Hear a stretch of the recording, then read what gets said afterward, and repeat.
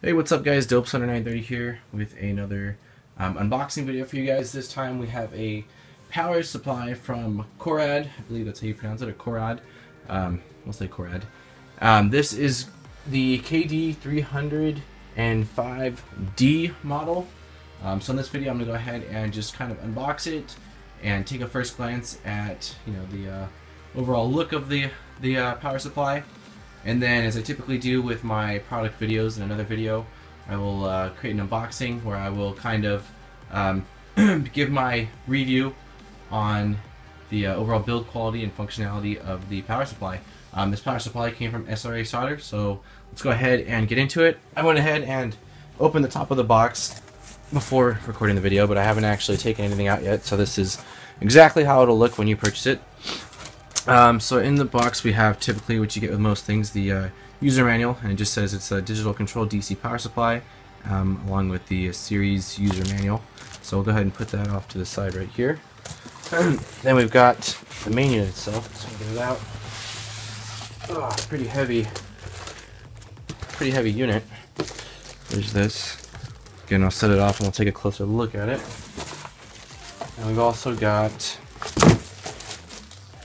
uh, got some cables right here, along with a um, just your standard, looks like, yeah, standard power supply cable. So we'll go ahead and stick these off to the side. the main thing I want to take a look at is a first glance at the unit itself. Let me go ahead and open this up.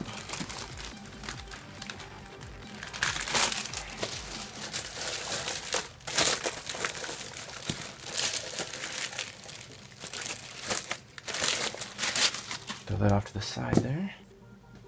Alright, so let's go ahead and take a look at the front of the unit itself. We've got two knobs. We've got one for voltage, one for current. Um, you can, so you can obviously adjust the uh, voltage and current.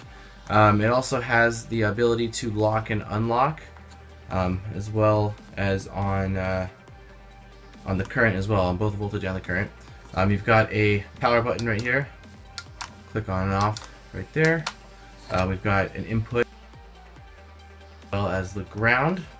Uh, let's go take a look at the side of it. This side we've got some, uh, some nice ventilation holes. On the back we've got a uh, external or output um, fan, or exhaust fan I believe is what you'd call it, to uh, blow heat out, along with the standard input right there. On this side as well we've got the um, more vent holes. So let's go ahead and actually plug this in real quick to kind of just, I'm not, again, I'm not going to go into too detail, um, but I just want to go ahead and plug it in. So we'll go ahead and do that. Alright, so I've got it all hooked up right now. We're going to go ahead and power it on and just kind of take a look at the LED display, and um, that'll probably be it. So let's go ahead and power it on. So as you can see, it's got, uh, it's really actually bright, really well lit up LED display right there. You can see, you can adjust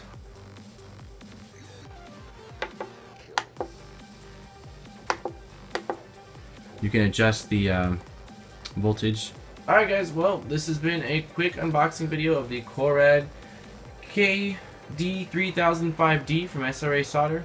Um, if you're interested in purchasing one for yourself or finding out more, I will place a link in the description. And again, I also, um, in the next week here, will be doing a full-blown review of this power supply um, where I will give my um, opinion on the build quality. I'll probably go ahead and open it up actually and take a look inside and um, yeah, let you guys know what I think about this. So as always, thank you guys for watching. I uh, know I kind of have been uh, slacking on videos lately, but I definitely will be uh, trying to shoot some more out for you guys.